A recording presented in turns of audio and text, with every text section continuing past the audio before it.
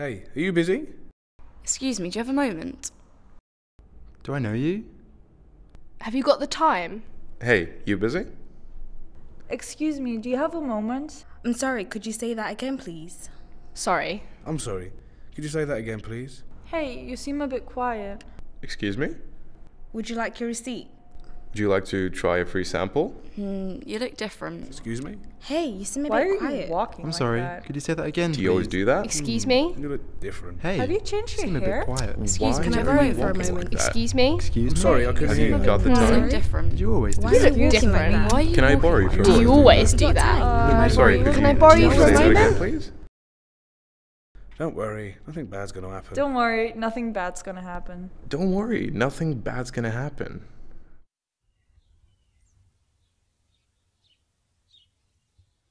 I didn't know that I had the anxiety. That was the thing. I, I just felt sick. But I think, you know, before I got the eating disorder, it was like nerves, and the nerves would like just spring up just out of nowhere. I think going to college thing was nervous enough, um, but it was what the, the the bus stop wasn't. I didn't, I didn't really like the bus stop all that much. If that makes sense, it was where it was. I'd be really nervous. I wouldn't want to do it. I really wouldn't want to do it. You, because you're nervous, it's saying to you, go home, don't want to do this, where you're trying to fight that. Of course, buses are really, really hot and outside's really cold, so it's that contrast. So there's a lot of things contributing. But then it, it like got to the point where I'll be so nervous, I won't go on the bus. I wouldn't, you know, I decided not to.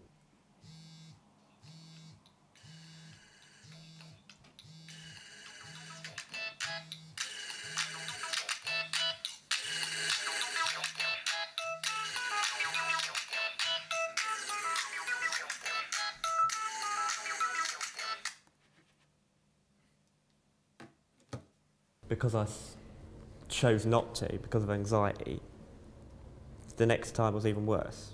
So I was even more anxious. And that made it worse for the next day and whatever. So it got to the point where I couldn't even go to college.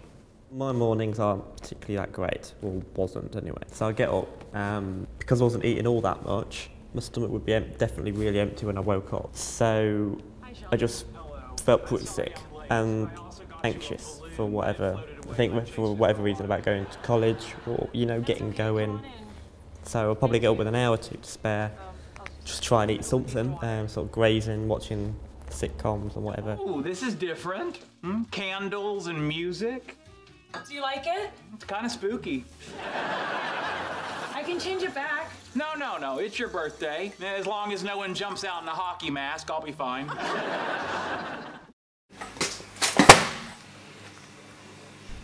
Social anxiety is, um, for me, was going out. Um, so, like, meeting up with friends, you know, it's like when you're out of your comfort zone a little bit, when you're out with friends, when you're out in an environment that is dynamic and not quite under your control, I think that causes a lot of social anxiety.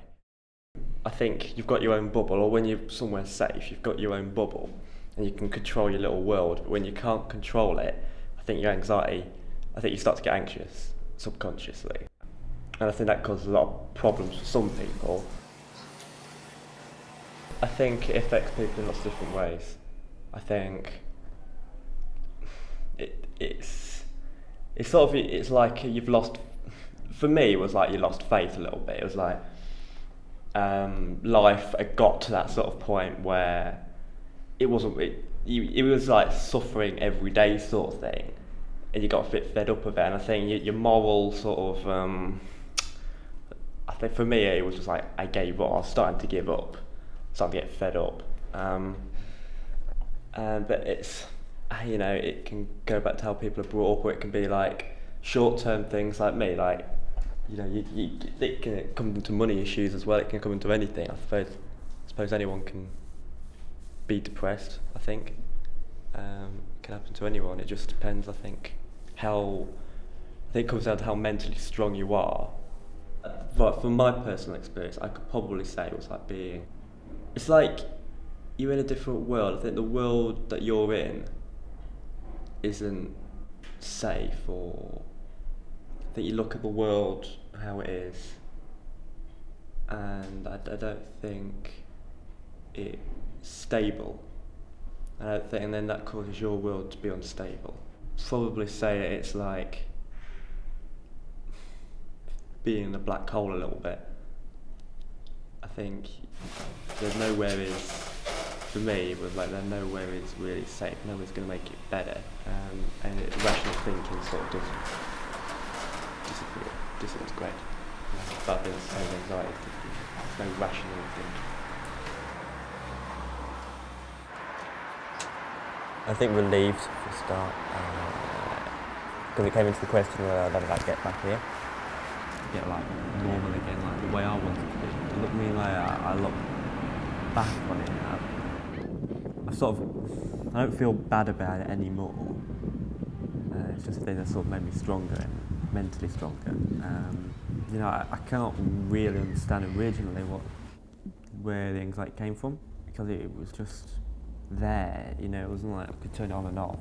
I mean, obviously now it got to the point where I'm like, um, like I'm I made a decision to come to uni, and a lot of it went, and I had to work on the year just getting tuned and polished. Um, and it sort of got to the point where I was all right.